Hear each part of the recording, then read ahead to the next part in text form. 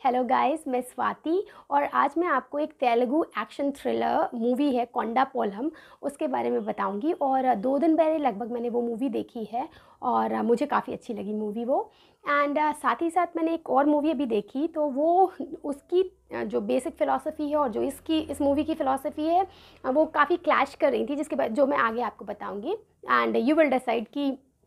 क्या है डिफरेंस दोनों मूवीज़ में। तो बात करते हैं कोंडापोलम की। ये जो लोग भी हैं, जिन्हें फॉरेस्ट पसंद हैं रूरल एडवेंचर्स पसंद हैं नेचुरल सीन्स पसंद हैं, उनके लिए ये मूवी ट्रीट की तरह है, उनको बहुत अच्छी लगेगी। एंड जो लोग भी छोटे शहरों से कभी बड़े शहर में गए हैं मे बी जॉब के लिए मे बी पढ़ने के लिए, और उन्हें एक कल्चरल शौक लगा है उन्हें लगा है कि वो वहाँ के लोगों से रिलेट नहीं कर पा रहे हैं, वो जितना अचीव करना चाहते हैं, वो नहीं कर पा रहे हैं। अपने पोटेंशियल जो है उनके अंदर उतना नहीं एक्सप्रेस कर पा रहे लोगों से और जिसकी वजह से वो पीछे रह जाते हैं और ना अच्छी जॉब पा पाते हैं या फिर अच्छा स्कोर नहीं कर पाते हैं तो उन लोगों के लिए काफ़ी कुछ सीखने को है इस मूवी में कि किस तरीके से इसमें एक रवि नाम का कैरेक्टर है, जो लीड कैरेक्टर हैं और वो अपने घर से जो एक शेफर्ड कम्युनिटी को बिलोंग करते हैं और उनके पेरेंट्स ने उनको इंजीनियरिंग कराई है और एक कोर्स और कंप्यूटर का कुछ उन्होंने कर रखा है, जिसके बाद भी वो फोर ईयर्स से हैदराबाद में किसी अच्छी जॉब के लिए स्ट्रगल कर रहे हैं। उनमें बिल्कुल कॉन्फिडेंस नहीं है, वो बहुत एक मीक कैरेक्टर और शाई कैरेक्टर दिखाए गए हैं और जो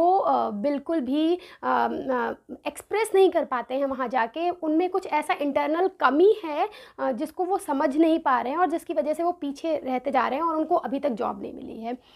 तो वो फिर होता क्या है इसमें कि वो अपने गाँव वापस जाते हैं, उनको बहुत सारे ताने सुनने पड़ते हैं और फिर किसी के सजेशन से वो अपने जो उनका बेसिक काम है, उससे जुड़ते हैं बैक टू रूट्स जाते हैं। और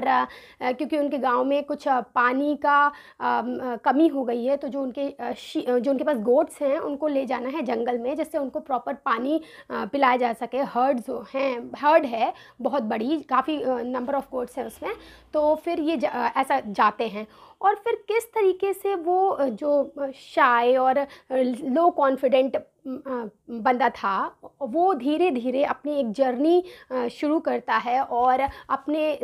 उसके साथ जंगल में कुछ ऐसे इंसिडेंट होते जाते होते हैं, ऐसी सकमस्टांसेस क्रिएट होती हैं, जिनको फेस करते करते वो अपने अंदर की भी जो कमियाँ हैं, उनको भी ओवरकम करता जाता है और इन द एंड वो जो सबसे बड़ा फियर होता है जंगल का, जो सबसे बड़ा एनिमी होता है एनिमी हमारे लिए कहेंगे, जंगल का तो एनिमी नहीं होता है वो शेर को फेस करता है और उस, उसको फाइनल जो उसका होता है, उसको फेस जो फियर होता है, उसको फेस करके वो किस तरीके से अपने अंदर के डर को भी निकाल देता है। तो वो एक एक्सटर्नल और इंटरनल जर्नी दिखाई गई है, जो साइमेंटेनियसली एक कैरेक्टर की चल रही है कि किस तरीके से जंगल को पार करता है, सारी डिफ़िकल्टीज़ फेस करता चलता है और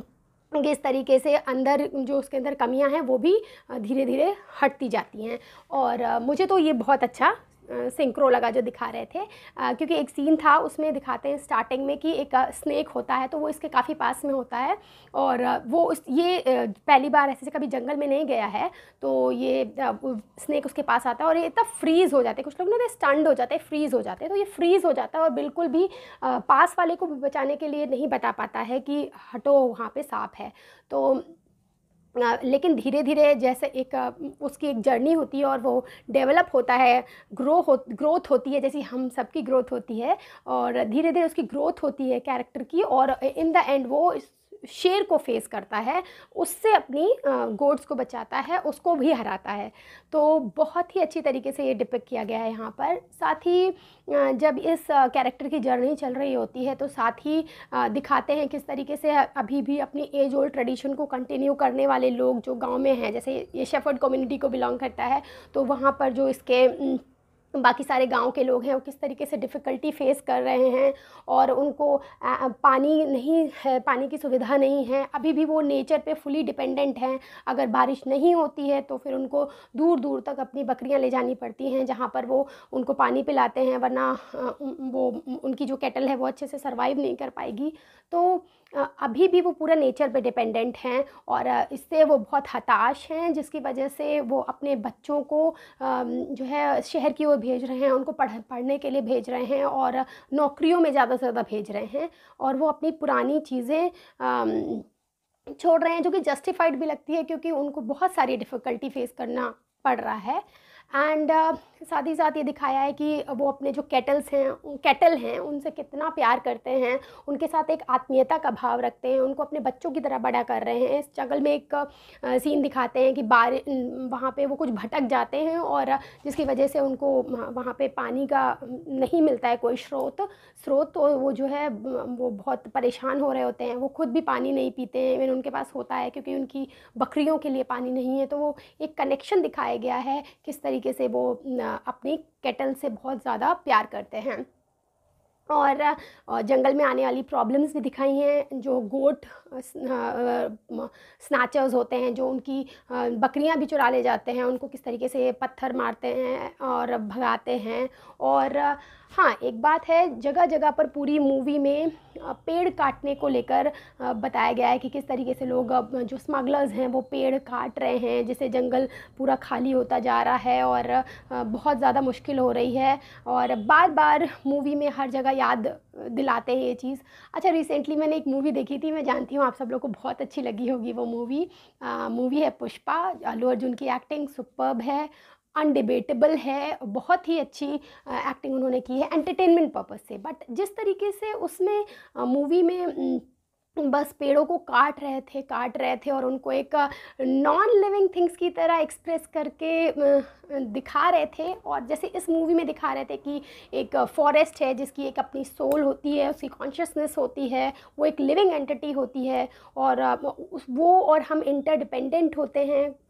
अगर हम अपनी रूट से कट जाते हैं, अगर जैसे उस जो यंग यंग पर्सन दिखाया गया है, रवि कैरेक्टर रविंद्र तो वो, अगर किस तरीके से बाहर आने वाली प्रॉब्लम्स को नहीं फेस कर पा रहा है, क्योंकि उसने अपने अंदर जो है, अपने रूट्स से कनेक्शन नहीं बनाया हुआ था। तो सेम है कि अगर जिस तरीके से इस मूवी में बस पेड़ों को काटना ही दिखाया गया तो वो मुझसे सिंक्रो में नहीं जा रहा था। मुझे ऐसा लग रहा था एक मूवी में दिखा रहे हैं किस तरीके से फॉरेस्ट के लिए लोग परेशान हो रहे हैं, और एक मूवी में जस्ट उसको as a source of business source of money दिखा रहे हैं, और बस काट रहे हैं अंधाधुंध। तो थोड़ा सा मुझे इस उस मूवी का, पुष्पा मूवी का ये चीज़ समझ में नहीं आया। Okay then